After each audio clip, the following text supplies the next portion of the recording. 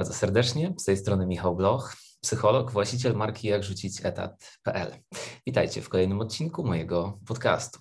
Podcastu, który wcale nie namawia do rewolucji, do rzucania papierami o biurko szefa, tylko do mądrego przygotowywania się do wyjścia poza etat i robienia czegoś inaczej niż większość ludzi.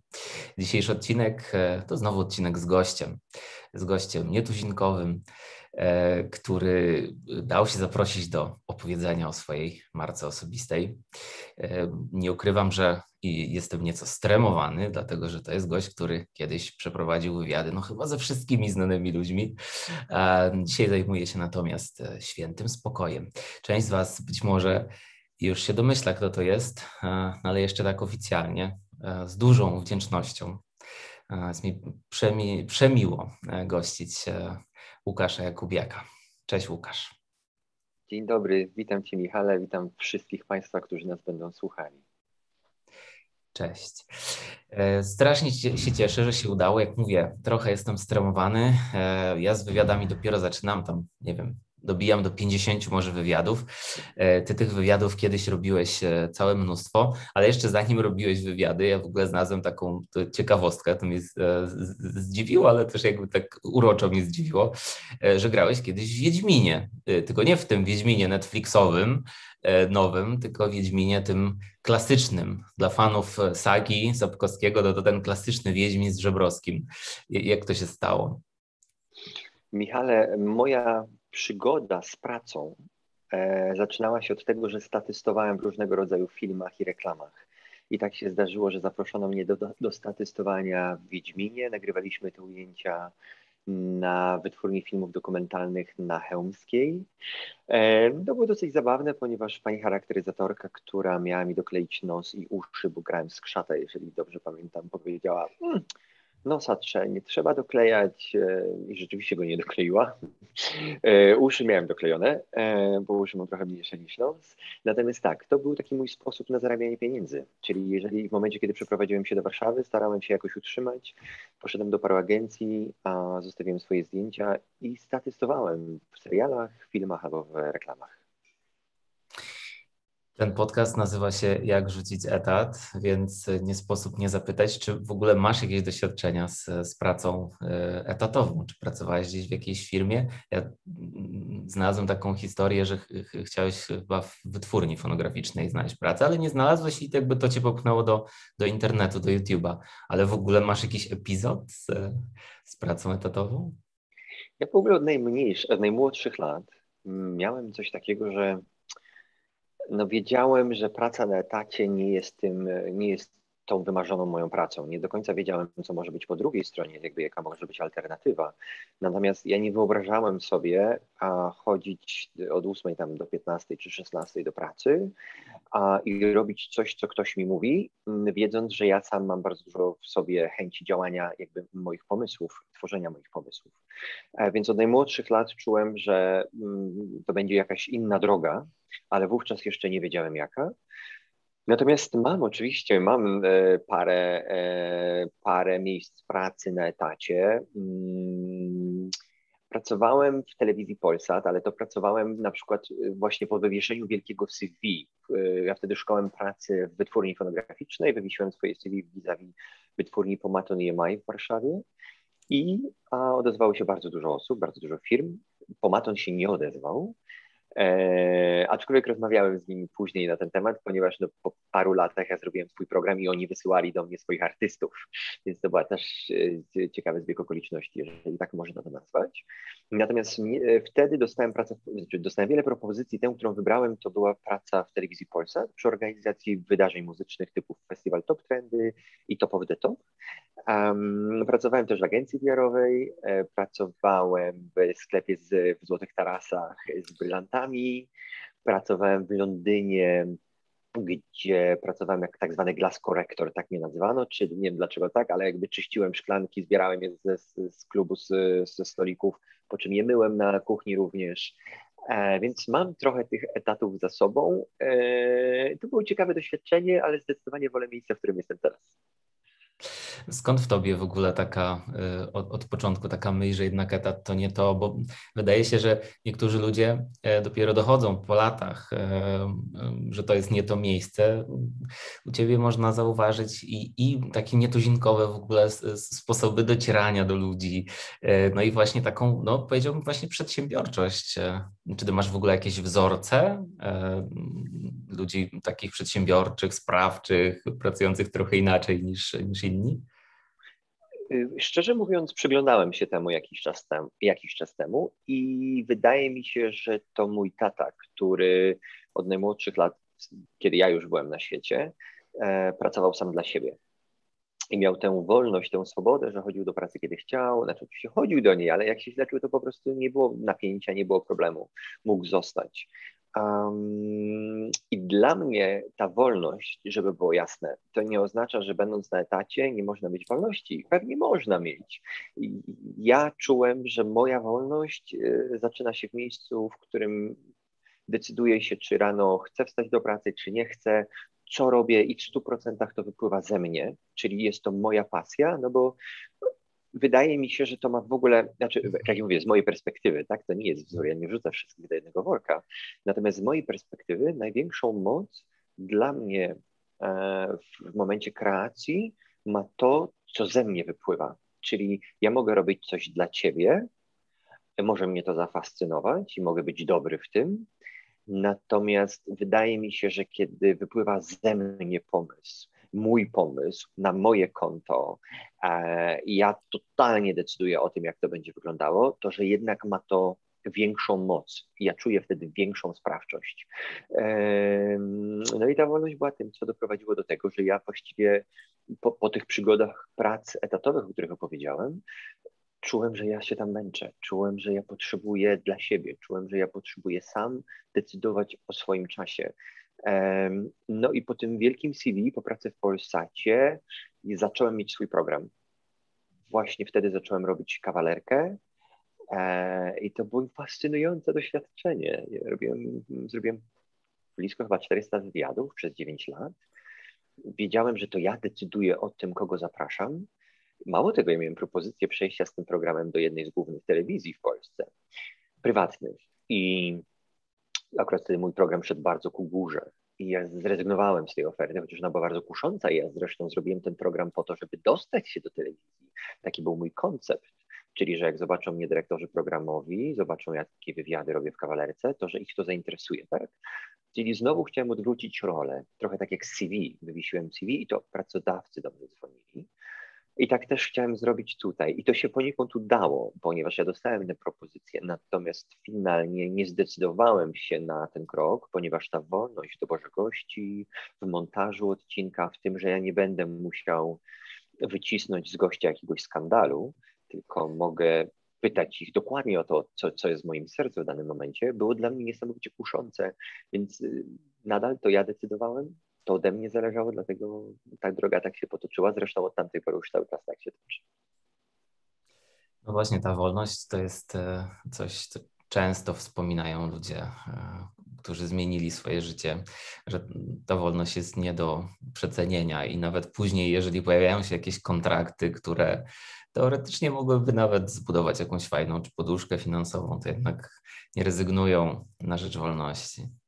No właśnie, to jest bardzo ciekawe, co powiedziałeś a propos tych kontraktów, bo przecież ja, mając swój program przez 9 lat, byłem tak zwanym influencerem, gdzie miałem zasięgi na Instagramie, na YouTubie, e, które monetyzowałem, czyli dostawałem propozycje współpracy od różnych marek, które pojawiały się na moim kanale i w zamian za to dostawałem wynagrodzenie. I w momencie, kiedy zacząłem, no to, czyli tam to jest bardzo długa droga i tam jest bardzo dużo elementów, ale kiedy w skrócie zacząłem rozumieć, że z zewnątrz nie znajdę, nie wypełnię tej pustki, która jest we mnie, że, żeby nie wiem jakie pieniądze, żeby nie wiem jaki sukces, nie wiem jaki czerwony dywan, jakie flesze na mnie świeciły, to ja nadal będę, znaczy jeżeli ja nie znam, nie zrozumiem kim jestem, nie zajrzę do siebie wewnątrz, to nigdy tej pustki, no, niczym z zewnątrz jej nie wypełnię. A mało tego, wtedy też zrozumiałem, że mm, przyjmując takie reklamy i promując to na swoich kanałach, poniekąd sam tworzysz system, z którego ja chcę się wyrwać. To dla mnie było dosyć bolesne, ponieważ dostawałem dosyć duże pieniądze za promowanie różnych rzeczy, więc to było bardzo kuszące. Oczywiście to nie jest tak, że brałem wszystko, były rzeczy, które, e, z których rezygnowałem, jednakowoż jeżeli ktoś ci daje pewną kwotę pieniędzy za posta, no to jesteś w stanie się trochę nagiąć. Ja przynajmniej byłem w takim miejscu i w pewnym momencie zrozumiałem, że, że to nie jest fair, jakby do ludzi to już w ogóle jedno, ale ja w ogóle nie byłem fair w stosunku do siebie, bo jednak na, na, naciągałem to swoje zaufanie. I to był proces. Uwolnienie się od tych marek, w sensie uwolnienie się no, od pieniędzy, które dostawałem, e, było dla mnie bolesne, było dla mnie trudne. I teraz już wiem, że to, to wszystko miało się tak wydarzyć, bo w tym momencie już też nie jestem ich niewolnikiem. Ja wtedy czułem się jednak poniekąd niewolnikiem swojego wizerunku, tego, że muszę się jakoś zachowywać, że muszę coś powiedzieć, ale czegoś nie mogę mówić. Teraz tego nie ma. Ja się z tym totalnie pożegnałem. Pomogło mi życie, będąc szczerym. To nie jest tak, że ja stanąłem w prawdzie i powiedziałem, ok, od dzisiaj nie biorę marek. Nie, nie.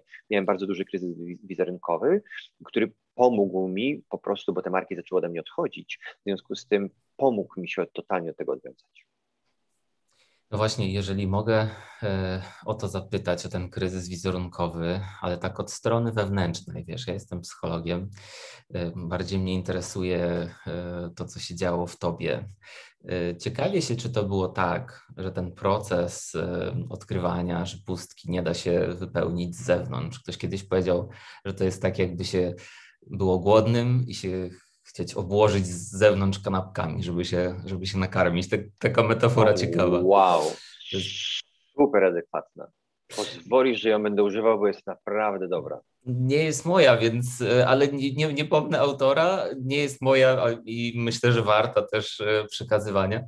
E, no i pytanie, bo zmierzałem do tego, że czy ten proces zajmowania się właśnie tą swoją pustką, szukaniem odpowiedzi, stanięciem w prawdzie, on się zaczął jakoś wcześniej i ten kryzys wizerunkowy to było coś, co jakoś po prostu było takim punktem kulminacyjnym, e, po którym na przykład poczułeś ulgę, bo tak niektórzy też mówią, że coś się wydarza i paradoksalnie to jest trudne, ale gdzieś w środku ta jakaś część mnie czuje ulgę, że tak się stało, że właśnie. Ciekawie się, jak to było u ciebie, mógłbyś e, się podzielić? Michał, od najmłodszych lat czułem, że jest więcej, natomiast totalnie nie wiedziałem co. W związku z tym, że ta myśl o tym, że jest więcej, była taka dosyć subtelna, to te myśli, które dochodziły do mnie ze świata zewnętrznego, mam na myśli przekazy medialne, że mniej więcej pieniędzy, bądź większy, bądź szybszy, bądź lepszy. A ja w nie uwierzyłem w pewnym momencie, ponieważ po prostu nie wiedziałem, nie, nie byłem w stanie dokładnie zdiagnozować tej subtelności, która we mnie była, która mówiła, to nie jest prawda to nie jest prawda. Ja nie wiedziałem, ja nie, nie umiałem tego odnaleźć. Więc poszedłem za tym, co głosił świat. Nie mówię, że cały, natomiast poszedłem za tym. Więc y, cała moja droga była w jakimś stopniu, mam na myśli program, wykłady motywacyjne i wiele innych rzeczy, były poniekąd podszyte tym, że ja liczyłem na to, że ja się będę lepiej czuł. No bo to tak naprawdę wszystkim nam chodzi o to, żeby dobrze się poczuć. Więc ja pędziłem sesje zdjęciowe, wywiady, im lepszy i szalony pomysł, tym lepiej, im więcej pieniędzy, tym lepiej ale uświadomiłem, znaczy tak mi się wydawało, że jest lepiej. Ja myliłem po prostu szczęście z przyjemnością. To dawało mi przyjemność, ale na chwilę, a po chwili opadało. A i, I za każdym razem myślałem, że potrzebuję więcej, tak? No bo my się do tego przyzwyczajamy, przyzwyczajamy, więc więcej, więcej, szybciej, mocniej. I kryzys wizerunkowy, który ja miałem parę kryzysów wizerunkowych. Raz był mnie prezydent, w kawalerce była afera, raz e, była sytuacja Zelen, raz jeszcze coś, bo już nie pamiętam co, było tego trochę. Mm, wiesz, ja byłem młody, jak wszedłem do show biznesu, uważam, że nadal jestem młody, chociaż mam już prawie 40 lat, to nadal tak się czuję. Więc y, to jest przepiękne miejsce do zweryfikowania ciebie, znaczy nas samych. I mnie to przepięknie weryfikowało, na co zwracam uwagę, do, do, do czego mnie ciągnie. I, mm, I ta sytuacja z Ellen kluczowa, 4 lata temu mniej więcej, była tym, co mnie zatrzymało. We mnie działa się wojna we mnie działo się, to był dla mnie najtrudniejszy czas i nikt z zewnątrz nigdy nie będzie w stanie doświadczyć, e, jakby wiedzieć, czego, czego, co doświadczyłem, mam na myśli poczuć tego, bo, bo oczywiście są gorsze nieszczęścia, żeby było jasne. Natomiast ja wewnętrznie po prostu nie byłem gotowy na to, e, co się wydarzyło, e, biorąc pod uwagę, że bardzo utożsamiałem się z wizerunkiem, z medialnością i jakby tam szukałem tego szczęścia, to nagle, kiedy to wszystko zaczęło upadać, dla mnie to był podwójny ból. Ale ja wtedy miałem taką myśl, że ja wiem, że to minie i ja wiem, że to jest po coś. Jeszcze nie wiedziałem po co, co i jak, ale wiedziałem, że to mi bardzo pomoże. To było tak, że ja chodziłem, jakby wiesz, media cię atakują, wyzywają cię na ulicy, sponsorzy odchodzą, goście nie chcą przychodzić, rodzina to czyta, piszą o tobie dużo prawdy, ale też trzeba pamiętać, że bardzo dużo nieprawdy ja nie byłem w stanie wiele zrobić. Jakby dla mnie takim momentem kluczowym był moment, kiedy poszedłem do kogoś, kogo poznałem. Byłem z nim na ty, jest to wydawca, jest to dyrektor w jednej z dużych grup medialnych, takich internetowych. I powiedziałem do niego, że ja, to nie jest tak, że ja nie chcę, żebyście o mnie pisali, żebyście o mnie pisali dobrze. Nie chcę, żebyście pisali o mnie dobrze, tylko mi zależy na tym, żebyście dali mi dwa tygodnie odpocząć, bo ja jestem, mam ksanak w kieszeni, jestem, mam myśli samobójcze, jestem brakiem człowieka, jest mi bardzo trudno. I pamiętam, że on przeglądał wtedy telefon, kiedy ja to mówiłem, czyli googlał moje nazwisko, jak się okazało. I powiedział, a, hmm, występujesz w Azji Express. Hmm, będziemy pisali. Potem powiedział, że oczywiście da znać, czy jest w stanie coś zrobić. Nie dał znać, a nasze, szczegóły naszej rozmowy zostały opublikowane na jego portalu. I to był dla mnie taki wake-up call. To był taki moment, w którym, ok, Łukasz, a musisz zrozumieć, dlaczego to zrobiłeś, dlaczego tak się dzieje.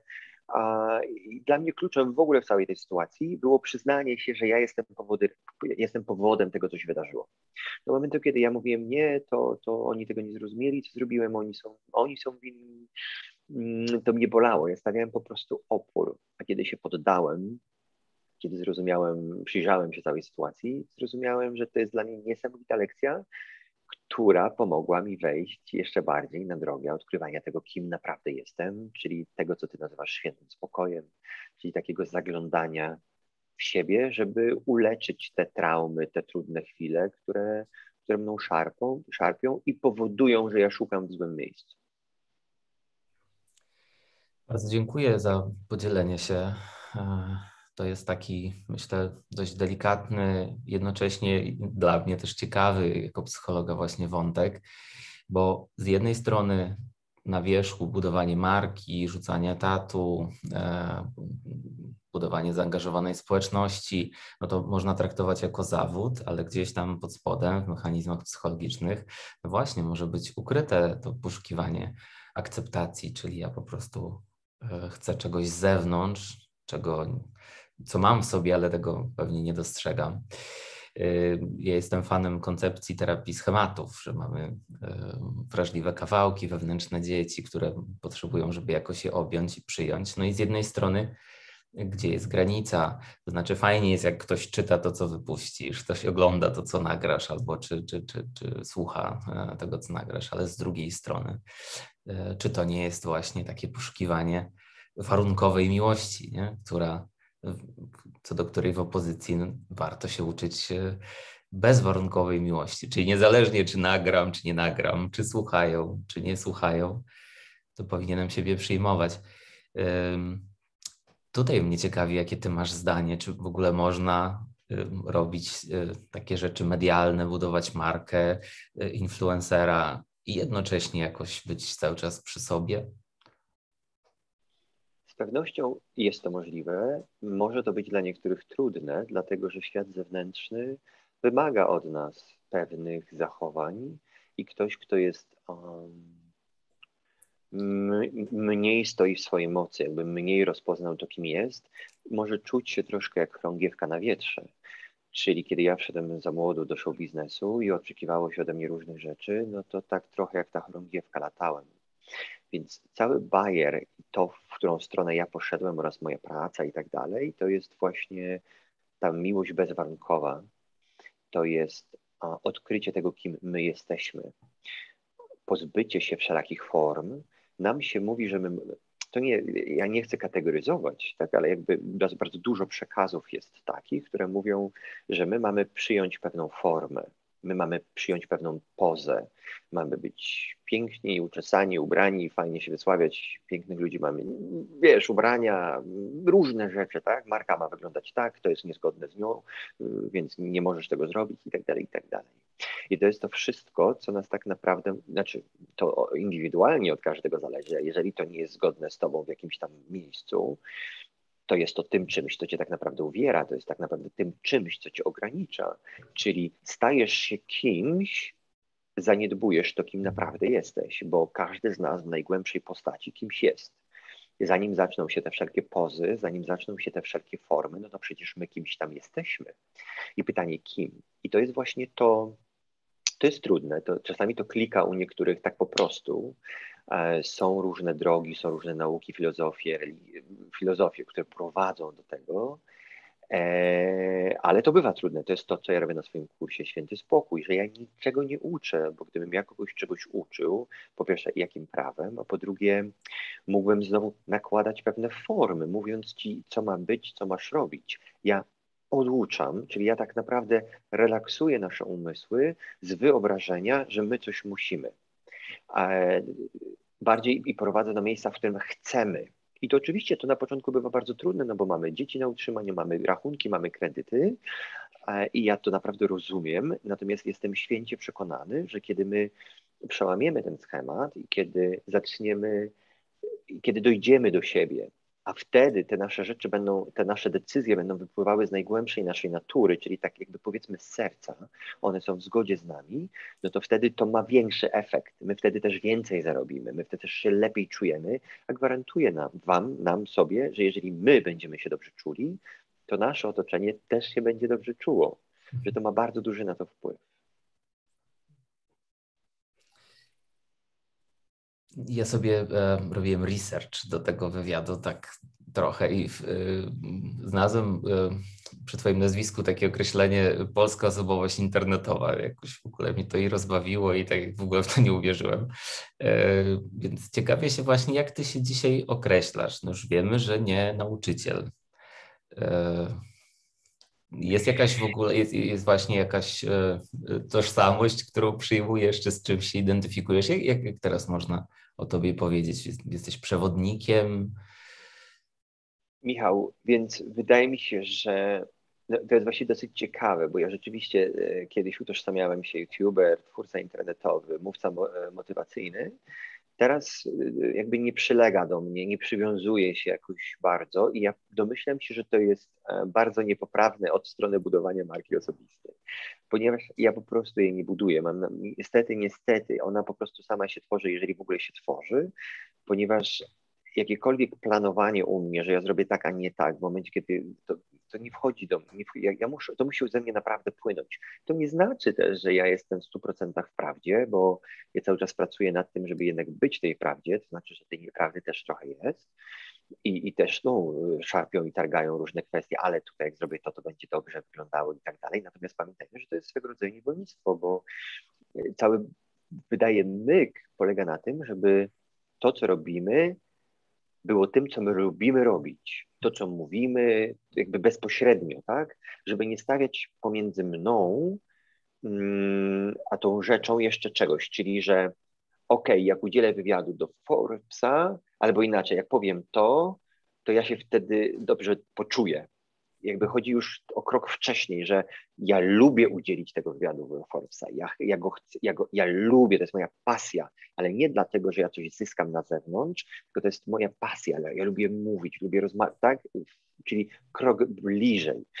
Więc gdybym w ogóle miał się jakkolwiek nazywać, to pewnie bym powiedział przewodnik. Ja prowadzę ludzi do, zresztą wszystkie moje materiały na YouTube, ostatnie, jest ich 5-6, zaraz będzie dużo więcej, tak naprawdę ja je spisuję w momentach dosyć dużych jasności umysłu. Często one są e, spisywane pod wpływem mm, różnych ceremonii, różnych roślin medycznych, świętych typu ayahuasca, czyli sięgam w takie przestrzenie jasności umysłu, zapisuję bardzo dużo, staram się sam to do, do tego dostroić, staram się sam tym żyć, i, i, I opisuję to w swoich materiałach. Zresztą w taki sposób poniekąd powstał mój kurs, w takiej dosyć dużej jasności, trzydniowej, poniekąd trzydniowej medytacji. ten kurs po prostu do mnie przyszedł, ja go spisałem i przekazuję dalej. I ja też jasno zaznaczam, że, że kurs, ja się do niego dostrajam. Że jakby ja stworzyłem produkt, który jest tak nadzwyczajny, że ja do niego muszę doskakiwać, że ja muszę do niego się dostrajać i on cały czas we mnie pracuje, ja się jakby go cały czas uczę. Zresztą ostatnio będąc w innej części świata zrobiłem pierwszą lekcję, bo moja przewodniczka mnie, mi zasugerowała to. No oczywiście najpierw mojego, ale gdzie, jaki w ogóle, jaki kurs ja mam zrobić swój, skoro ja już go mam pięć edycji ze sobą, przecież to wszystko wiem. Więc najpierw musiałem ogarnąć jego, które mówiło, nie, nie, nie mam czasu na takie rzeczy, aż w końcu obejrzałem pierwszą lekcję i to było coś nieprawdopodobnego. E, I kliknęła mi rzecz, która tam była, którą ja sam wypowiedziałem, która doprowadziła do tego, że ja przez trzy dni tańczyłem i nie mogłem spać jakby zacząłem mieć totalnie nowe, przepiękne zresztą rozpoznania. Wracając, przewodnik to jest chyba najlepsze określenie, ale jednak twórca internetowy też, bo tworzy swoje materiały. Jasne. No, y, muszę y, się przyznać, że trochę ciekawość y, tutaj mnie zaczyna zżerać i jakoś w wyobraźni buduję sobie ze strzępków informacji to, jak to się odbywa, taka droga do, do stanięcia w prawdzie, do jakiegoś rodzaju przebudzenia, też się pewnie spotyka takie określenie, czy do wręcz oświecenia, jak mówią niektórzy. No, usłyszałem o różnych ceremoniałach, usłyszałem, że jest też jakiś przewodnik czy przewodniczka w Twoim życiu. I jak to zrobić, żeby być bardziej właśnie autentycznym przy sobie, w prawdzie, nie szukać na zewnątrz tego, co jest w sobie? W sensie, jaka jest Twoja recepta, jeżeli coś takiego istnieje? Ja przede wszystkim powiem, że na tę drogę zazwyczaj wchodzą ludzie, którzy są nieszczęśliwi, którzy wierzą, że jest coś więcej i nie, nie rozumieją co to, to zacznę od tego. To nie znaczy, że każdy musi na tę drogę wejść. A w moim przypadku najlepszym rozwiązaniem jest dostanie obuchem po głowie. No mnie tak piórko myziało i tak ja tego nie czułem. Ja potrzebowałem dostać baseballem, czyli potrzebowałem mój związek musiał się rozpaść, musiała być parę jakichś sytuacji medialnych dla mnie trudnych, osobistych i tak dalej. I wtedy po prostu musiałem się zatrzymać. To rzeczywiście dla wielu jest bardzo dobrą metodą, bo świat nas zatrzymuje wtedy. Mnie tak świat zatrzymał. Natomiast to nie jest konieczna droga. Jeżeli ktoś czuje, że w jego życiu, jakby, to jest bardzo obszerny temat, ale jeżeli ktoś czuje, zresztą poniekąd o tym jest mój najnowszy materiał Magia Dostatku, jeżeli ktoś czuje, że w jego życiu są sytuacje, które się powtarzają, bo w ogóle najtrudniej to jest to zauważyć. Najtrudniej jest zauważyć, że żyjemy w jakichś schematach, i to jest klucz, żebyśmy my to zauważyli. W jaki sposób? No właśnie, jeżeli widzimy, że nasze sytuacje, że pewne sytuacje się powtarzają, wyrzucają nas kolejny raz z pracy, kolejny raz zdradza nas partner, kolejny raz ktoś nas skrzywdził, zranił nasze uczucia, kolejny raz coś się wydarzyło, to nasz umysł będzie bardzo chciał powiedzieć, że to nie jest nasza wina, szef nas wyrzucił, no po prostu szef nas wyrzucił, bo się nie zna, ktoś mnie zdradził, no to w ogóle ten ktoś, kto mnie zdradził jest fatalny i to jest jego błąd, to jego wina, no bo jakbyśmy mogli powiedzieć, że to jest nasz problem, że ktoś nas zdradza kolejny raz, albo mamy partnera, który nas tłucze. Wydaje nam się, że to jest wina partnera i poniekąd jest, tylko zadajmy sobie pytanie, skąd się to wzięło, dlaczego to się powtarza w naszym życiu. I to powinien być taki wake-up call, taka czerwona lampka dla nas, że skoro coś się powtarza w naszym życiu, to może jednak warto byłoby się temu przyjrzeć, bo może jednak to my to powodujemy. Czyli na przykład, e, jeżeli mm, na przykład, jeżeli jesteśmy dorosłym dzieckiem alkoholika, czyli DDA, to jednym z takich, z takich nie wiem jak powiedzieć, syndromów, takich sytuacji, które będziemy powodować, e, będą awantury, będą kłótnie. Dlaczego? Dlatego, że mogą być, nie muszą. Dlatego, że jeżeli nasz tata, czy nasza mama, czy nasz brat przychodził pijany do domu co parę dni i powodował kłótnie, awantury, nigdy nie było wiadomo, kiedy przyjdzie, my byliśmy mali, to, jest, to jesteśmy w takiej energii a, napięcia, stresu a, i to jest dla nas jakby naturalne środowisko. Więc w dorosłym życiu zupełnie podświadomie będziemy wybierali, wybierali, powodowali takie sytuacje, w których to będziemy mogli poczuć tę energię z dzieciństwa, to nasze naturalne środowisko, czyli będziemy powodowali na przykład awantury, tylko po to, żeby poczuć tą energię, bo to dla nas było naturalne środowisko. Więc to my sami powodujemy. I więc pierwszym takim fajnym punktem może być zauważenie, spojrzenie na nasze, nasze życie z zewnątrz. Jeżeli coś się powtarza, znaczy, że jesteśmy tego powodem, przyjrzyjmy się dlaczego. I tam można iść dużo, dużo, dużo, dużo głębiej. E, jest bardzo dużo form medytacji, wyciszania umysłu. Ja tylko powiem jedno. ja też na tą drogę wkroczyłem i jakby zacząłem prowadzić ludzi w dosyć młodym wieku. I, i ja bym na to uważał. Ty, wiem, jakby dlaczego o tym mówię. Miałem jakieś dwa lata temu takie bardzo ważne moje rozpoznania mm, i uświadomiłem sobie, że opowiadanie o, mm, powiedzmy, opowiadanie o smaku awokado, nie próbując awokado, to jest po prostu mija się z prawdą. Więc w momencie, kiedy, bo tak naprawdę cała ta droga prowadzi do źródła, do rozpoznania tego, kim my jesteśmy. Więc jeżeli nie rozpoznamy, jeżeli nasz przewodnik nie rozpoznał źródła, no to będzie nam opowiadał to, co przeczytał w książce. E, więc cały bajer, żeby dobierać tak ludzi, którzy rzeczywiście mieli, mają trochę doświadczenia, którzy wzbudzają zaufanie, którzy mogą nas poprowadzić w dobrym kierunku, bo duchowość, droga, na której jestem, jest bardzo kusząca i wiem to po sobie. Tam się dzieje naprawdę, jest coś takiego jak duchowe ego, gdzie nasze doświadczenia Boga, źródła jaźni, czegokolwiek są tak atrakcyjne, są tak transformujące, oraz to, co ja robię na kursie i ten cały feedback, feedback, który mam od ludzi, jak bardzo im to pomaga, to nasze ego może naprawdę wprowadzić nas w ślepe zakamarki i trafienie na tego przewodnika po prostu jest ryzykowne, więc y, trzeba uważać. Natomiast reasumując, polecam na przykład, mm, ja polecę, bo mogę za to brać odpowiedzialność, materiał Autograf Miłości, który nagrałem o tej drodze szukania na zewnątrz, on jest na moim kanale i on tak naprawdę wskazuje na to, gdzie jest to, czego często bardzo szukamy na zewnątrz, tak? gdzie myślimy, że to pieniądze w majątku. Okej, okay, ja nie mówię, że nie, bo ja siedzę teraz w Meksyku, mam dostatek i jakby jestem, wiesz, e, w miejscu, w którym po prostu jest mi bardzo wygodnie, Natomiast e, cudownie jest też zajrzeć do wewnątrz, bo tam jest naprawdę dużo więcej i uwierzcie mi, że to, co jest wewnątrz, jest dużo atrakcyjniejsze niż to, co jest na zewnątrz. Żaden pieniądz, żaden prywatny samolot, biznes klasa i wakacje nie są w stanie dać nam tego, co możemy odnaleźć w sobie. Uwierzcie mi, spotkanie się z samym sobą, które u mnie co jakiś czas następuje, jest nadzwyczajne, przepiękne, przepełnione miłością.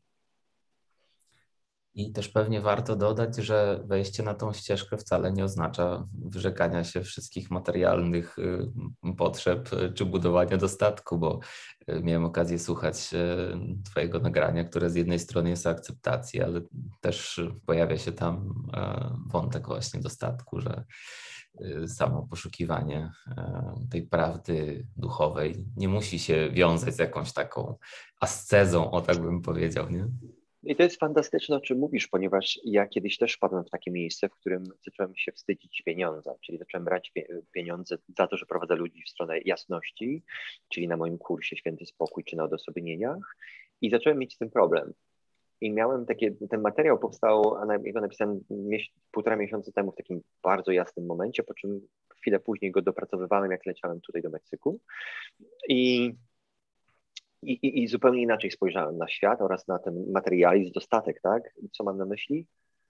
No właśnie chwilę temu opublikowałem materiał na, na YouTube, więc polecam Magia Dostatku. Natomiast wszystko jest, to, te rozpoznania mówią o tym, że wszystko jest. Jeżeli spojrzymy na świat z pozycji energii, że wszystko jest energią, co mam na myśli? No, że u podstaw wszystkiego myśli, emocji, jest tak naprawdę energia. Możemy to poczuć często, jak mocno oddychamy, czujemy, że ta energia wibruje. Tak?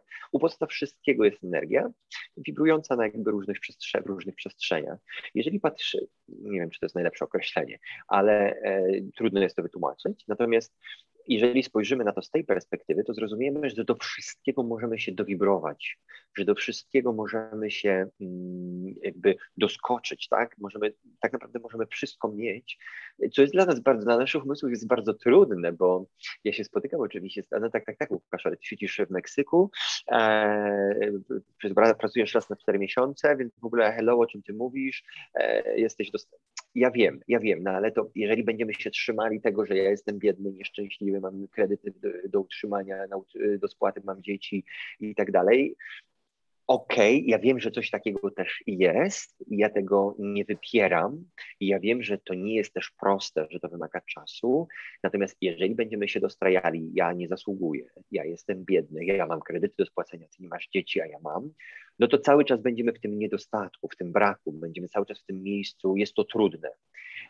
A, ale przecież to nie jest walka ze mną, to nie jest udowodnienie mi czegoś, więc tylko tak naprawdę sobie, więc ja bym po prostu zaprosił do przestrzeni, w której a może uwierzyć, że mogę wszystko, a może uwierzyć, że jest majątek, jest dostatek, są, jest miłość, jest, jest, skoro ja mogę płakać, skoro ja mogę dostać się do smutku i do nie, nie, nie, nie zasługuję, to może jestem w stanie się dostroić do zasługuję, do, do miłości, do radości, do uśmiechu. W bardzo prosty sposób, jak włączamy utwór już kończę, przepraszam, rozgadałem się, wiem, ale jak mhm. włączam utwór, włączę ci smutny utwór, e, moja przyjaciółka Ria Soku robiła to na kursie, ja zawsze opisywałem e, historię, jak wam zacznę opisywać smutną historię, to wy się dostroicie do niej, też będzie wam smutno. I jeżeli będę opowiadał wam, jak było cudownie tu i jak było przepięknie, to wy zaczniecie być radośni, tak? Czyli ja was poniekąd dostrajam do, do pewnego waszego samopoczucia. I my, my sami, my sami mamy tę olbrzymią moc kreacji e, i to jest właśnie to, co robię na kursie. Ja sprowadzam ludzi do odkrycia tego, kim jesteśmy, a tam odkrywamy, że nie musimy być ofiarą, tylko możemy być kreatorem, możemy dostrajać się do dostatku. Więc zapraszam, bo to tak naprawdę jest. To bywa trudne, bo nasze programy nam w tym przeszkadzają, ale to jest możliwe. Właśnie to słowo programy od jakiegoś czasu e, mi tak krąży po głowie. I muszę powiedzieć, że ja patrzę ze strony psychologicznej, psychoterapeutycznej, ale ja mam wrażenie, że ty mówisz dokładnie o tych samych rzeczach. Znaczy, są pewne schematy, przekonania, które nami sterują. My odtwarzamy pewne role, powtarzamy je. W psychologii o błędnych kołach. E, I, I, ja mam takie nieprzeparte wrażenie, że w ogóle cały świat pomagaczy, ja sobie taką kategorię własną stworzyłem, e, ludzi, którzy jakoś e, stają na drodze innym ludziom i ich inspirują do rozwoju, że wszyscy pomagacze, mówimy tak naprawdę o bardzo podobnym, albo nawet o tym samym, tylko trochę inną narracją i do, do, do, do różnych ludzi ta narracja trafia. To, takie, to tak, taka moja refleksja, taki mój wgląd e, z, z tej naszej rozmowy. I to jest jak najbardziej też moje doświadczenie, że my tak naprawdę mówimy o tym samym, tylko każdy, to jest takie, jest takie piękna taka historia mm, o słoniu, powiedzmy pięciu, już nie pamiętam dokładnie, powiedzmy pięciu niewidomych dotyka słonia, każdy w inne miejsce i pytają i opowiadają, czy, kim jest, czym jest słoń. Ten, który dotyka odgona, mówi, no słoń jest jak lina, cienki, mm, e, jak lina. Ten, co trzyma nogi, mówi, nie, nie, nie, słoń nie jest miękki, cienki, słoń, ten, kto dotyka nogi, mówi, słoń jest potężny, ciężki, gruby, a ten, kto dotyka kłani, nie, nie, nie, słoń jest ostry i jest e, zakończony ostro i rozszerzony, i tak dalej. Nadal to jest ten sam słoń. Więc tak, my mówimy o tym samym i chyba cały Bayer znaleźć sobie przewodnika, który mówi w najprostszy sposób.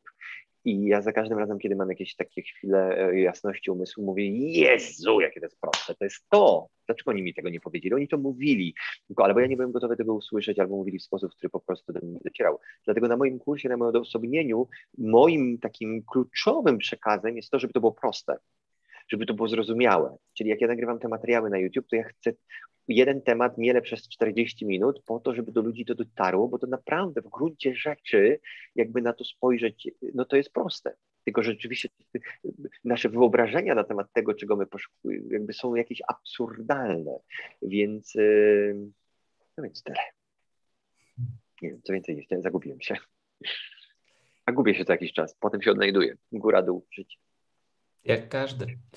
E, wątek podróżowania e, też mnie ciekawi. Ja tutaj w, w swoim podcaście mm, poruszam e, takie tematy jak cyfrowy nomadyzm, jak workation, czyli łączenie urlopu i pracy. No i tak jak rozmawialiśmy, od lat już co najmniej kilka miesięcy w roku jesteś w różnych podróżach y, i to jest faktycznie tak, że ty pracujesz, czy to jest twój taki work-life balance, że jak podróżujesz, to prawie nie albo nie, no chociaż teraz rozmawiamy, nie wiem jak to traktujesz, a, a czy, czy, czy to jest tak, że faktycznie mógłbyś się nazwać e, cyfrowym nomadą, czyli kimś, kto tam nie ma swojego stałego miejsca, jego tak naprawdę pracą może być każde miejsce.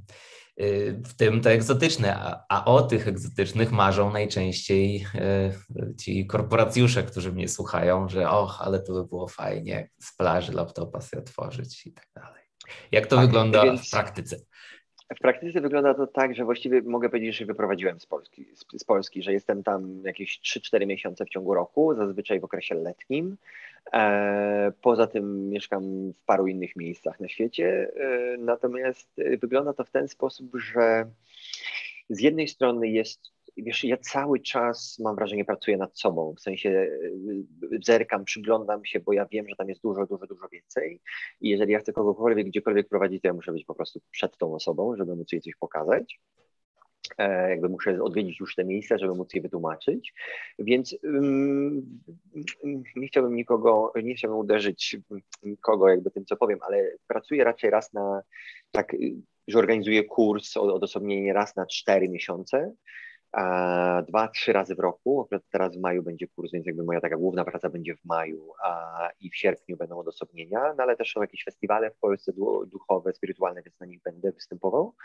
Mm, zresztą cudowne wydarzenia mamy w Polsce, typu Festiwal Wibracje czy Dreamland, więc polecam, bo naprawdę są cudowne miejsca, gdzie, gdzie można doświadczyć tej jasności.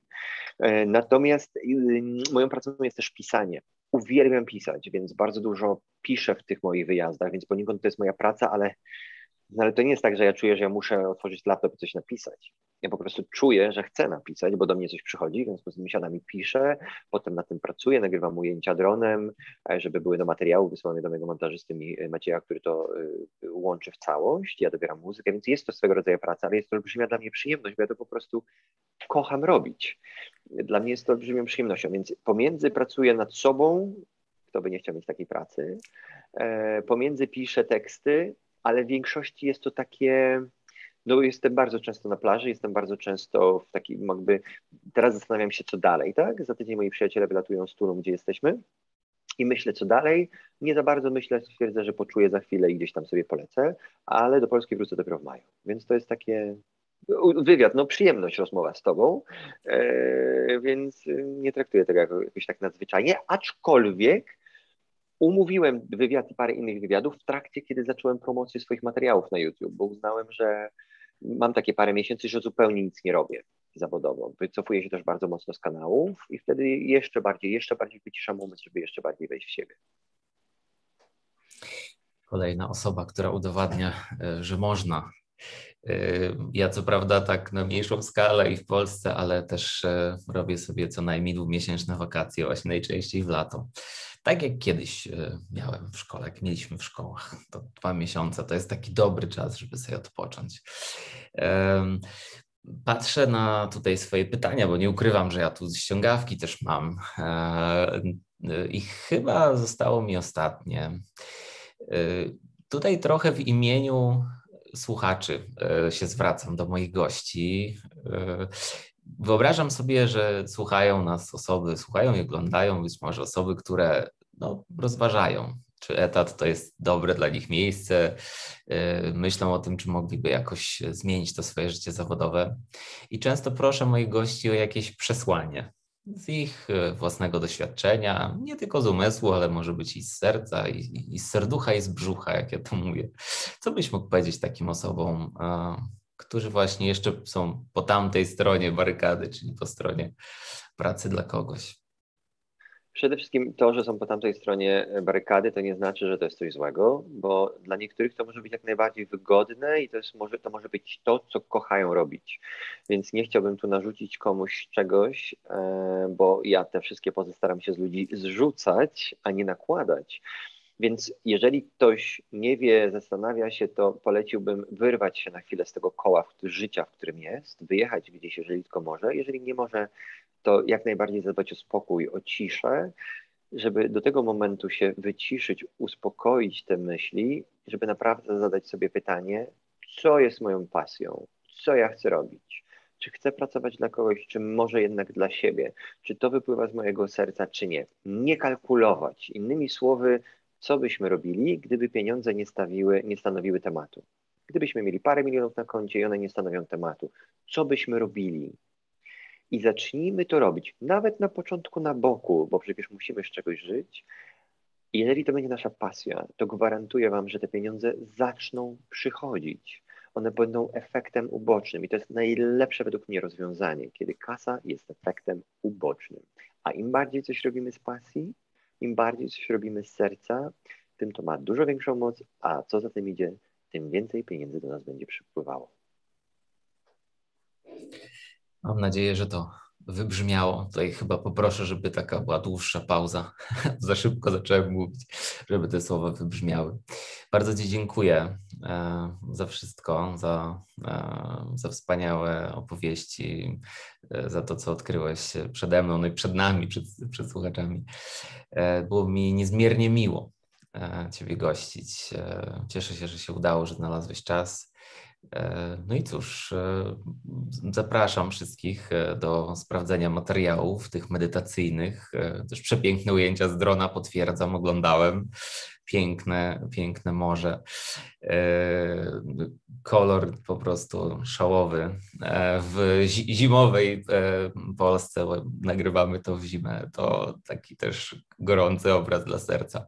Bardzo, bardzo jeszcze raz dziękuję. Moim gościem był Łukasz Jakubiak przewodnik i osobowość internetowa. Dziękuję Ci bardzo za zaproszenie, tę cudowną rozmowę. Mam nadzieję, że będzie dla kogoś inspiracją, a nie jakimś ukłuciem serca. Dzięki.